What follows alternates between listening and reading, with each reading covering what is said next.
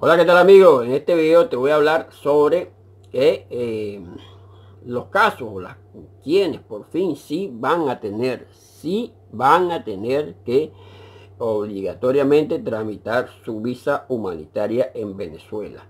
Y también te voy a hablar sobre las calidades migratorias o los trámites que les corresponde hacer a todo aquel que viene entrando, bien sea eh, por las exoneraciones que han dado, bien sea por reunificación familiar, bien sea por eh, vulnerabilidad o bien sea por la visa a través de la visa humanitaria en sí. Acompáñame. Bien, este... Mm, vamos a empezar, eh, bueno, detallando los casos de los que eh, si van a entrar. En el, en el anterior video, que te lo dejaré por acá, hablamos sobre quienes sí van a entrar con las exoneraciones. Eh, lo repasamos rapidito. Se habló y se dijo que menores de edad que vengan a reagruparse con su núcleo familiar. Ojo con eso, que vengan a reagruparse. Así lo dice la resolución. No como lo está diciendo la ONG, de que es todo aquel menor de edad. Bien, menores de edad que eh, vengan a reagruparse. Mayores de edad que vengan a reagruparse con sus familiares residentes. Ojo con eso y me voy a parar un poquitico por ahí para aclarar ese punto, señores. Residente. Ahí no vale ni solicitante de refugio y no vale que yo tengo el, el PTP en trámite. Si no tiene el PTP en las manos, usted no vale, usted no existe. Es más, usted está guindando para estar con la estadía vencida y está irregular.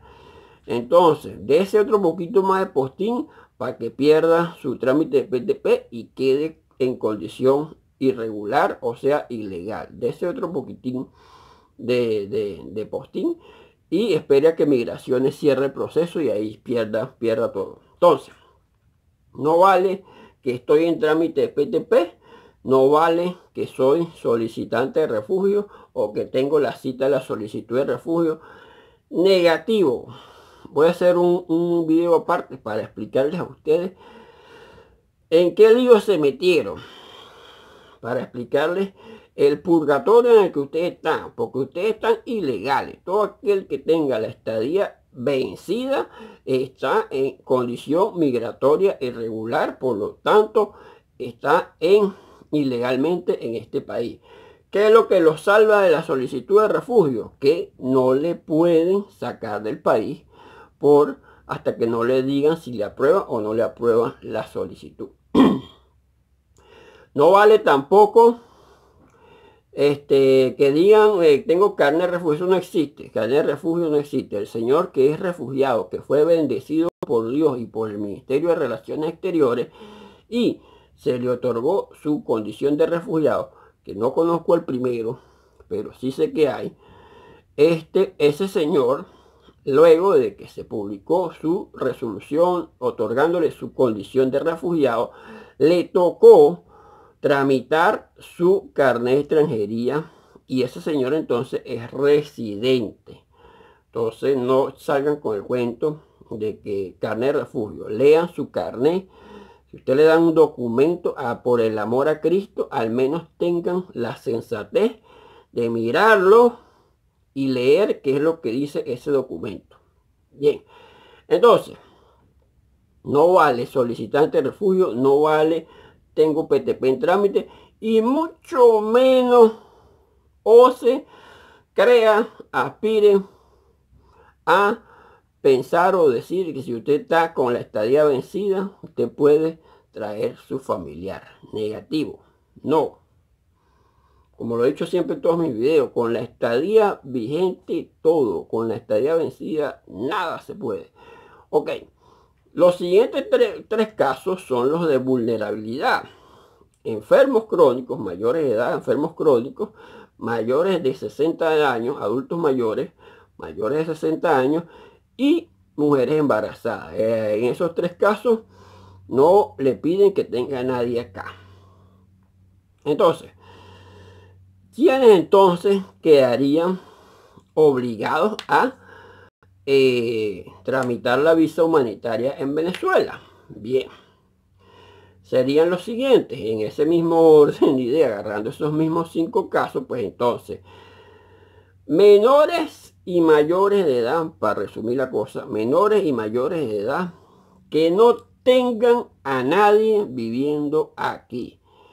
Que no tengan a nadie viviendo aquí o con residencia legal en este país. O sea, si usted tiene un familiar acá, que muy conchudo, está con la estadía vencida, saque su visa. Ese ser familiar que está acá no le va a ayudar. Más bien le va como a restar. Porque entonces si a la lógica vamos, pues si entonces su familiar es flojo y responsable para no sacar sus papeles en seis meses, pues entonces le pueden pensar lo mismo de usted. Saque su visa. Si no está embarazada, obviamente, saque su visa. Si no es un adulto mayor de 60 años, saque su visa. Y si no está enfermo crónico, saque su visa. Ojo, enfermedades crónicas no es que se te partió una uña y ya vas a decir que eres un enfermo crónico. No es que tienes una gripe y ya vas a decir que es un enfermo crónico. Enfermedades crónicas no lo usemos como guachafita o como eh, gancho o como excusa para cualquier estupidez. ¿verdad? Vamos a respetar a esos señores. Esos señores que tienen una enfermedad crónica deberán traer su documentación que acredite, porque no es que usted llegue al puesto de migración y ponga una cara de bobo y diga que, usted está enfermo de, algo. O que diga, que darme un chongo, un escándalo que con un dolor y no traiga ningún papel. Debe, es algo serio, amigo. Entonces, debe traer su documentación, sus informes médicos de qué es lo que tiene. Eso no vale que diga, se le partió una uña, ya enfermo crónico. Que se me partió un brazo y ya soy un enfermo crónico que tengo gripe y tengo diarrea y soy un enfermo. No, señor, vamos a respetar eso. Si usted no tiene una enfermedad crónica, le toca tramitar la visa. Así esté resfriado, tenga bronquitis, enfermedades crónicas. Bien, esos son los que estarían obligados a tramitar su visa humanitaria para entrar acá en esa condición. Luego, Vamos a hablar ahora, que ya aclaramos quiénes son los que van a, a juro, obligatoriamente tramitar su visa humanitaria. Entonces vamos a hablar de qué va a pasar con esa gente cuando lleguen acá. Los trámites migratorios que les tocan. Bien, por reunificación familiar, por el artículo 37, no lo inventé yo, no estoy inventando yo, ni nada, eso está en el artículo 37 de la ley 1350, ley de migraciones, la buscan, le preguntan al chamo Google y ese se lo dice que lo que yo estoy diciendo es verdad. Artículo 37 de la ley 1350 de migraciones. Bien, ese artículo dice que todo aquel extranjero residente que esté acá con calidad migratoria temporal, perdón, el primer caso es que nombre el artículo es todo aquel extranjero que esté con calidad migratoria temporal podrá podrá optar a su familiar otorgarle la misma misma calidad migratoria que tiene es decir si Pedro Pérez se trae a María de Pérez o a Juancito Pérez cualquiera de los dos, ¿verdad? Va, esposa o hijo, le van a otorgar el PTP a ese niño y a esa señora. Ineludiblemente. PTP con PTP, porque es temporal. Sí, en el segundo caso, que si es residente, dice el artículo que un extranjero con calidad migratoria residente podrá podrá otorgar a su familiar que llegue la oportunidad de tramitar la misma calidad migratoria que tiene él o cualquier otra que se adapte a su condición o su situación. Es decir, si Pedro Pérez está acá con una calidad migratoria de trabajador, se trae a Juancito Pérez, su hijo. Juancito Pérez no va a poder optar a la calidad migratoria trabajador porque con qué contrato de trabajo va a tener ese niño si es un menor de edad. Entonces a Juancito Pérez le sale o lo ponen a estudiar y va por la calidad migratoria formación o estudiante o se va por la calidad migratoria familiar como hijo de un residente extranjero. Si María de Pérez viene para acá y Pedro Pérez tiene una calidad migratoria especial residente, María de Pérez podrá, podrá pedir y optar a la misma calidad migratoria especial residente que es la que dan después del PTP. O María de Pérez puede pedir la calidad migratoria eh, familiar como cónyuge de un extranjero residente. Y así me puedo lanzar a explicar en los casos. Si, si María, si la que está aquí es la mujer, María de Pérez, y la mujer parió, parió, y está aquí con el marido, entonces se trae a la mamá, la señora Juana, ¿verdad? Mamá de María. La señora viene como madre de una extranjera residente. O, entonces ella va, a poder aplicar a esa, esa condición únicamente, porque la señora para dónde más va a coger. Y así sucesivamente, pues esas son las condiciones que van a tramitar esos casos de reunificación familiar.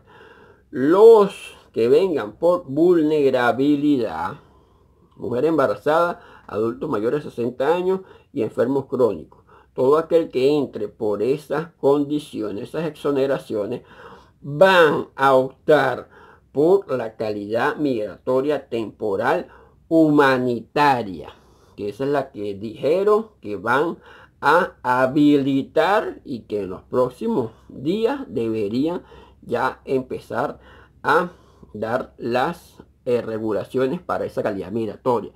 Entonces, todo aquel que entre por esas tres exoneraciones, más los que entren por la visa humanitaria, van a ir a optar por la calidad migratoria temporal humanitaria. Van a optar a tramitar. No con eso, no es que se la van a regalar, ni que es gratis, ni que es nada. Van a hacer su papeleo y van a hacer su trámite, lo que les vayan a pedir y luego van a pedir su carne extranjería que van a pagar por su carne extranjería. O con eso, no es que se la van a dar gratis. Bien, entonces, ya de acá, eh, dejamos claro quiénes son los que van a entrar exonerados, quiénes son los que van a entrar con visa y qué van a hacer o qué van a tramitar esa gente cuando llegue en un próximo video que espero me hayan seguido hasta acá. Y les voy a hablar, les voy a dar un dato a todos aquellos amigos solicitantes de refugio que les di duro, pero les tengo un regalo, tengo una recomendación, un agua bendita para sacarlos de ese purgatorio. Y se los voy a explicar en el próximo video. Mi nombre es Jesús Alejandro Bastidas y nos vemos en el próximo video y en otra oportunidad. Saluden.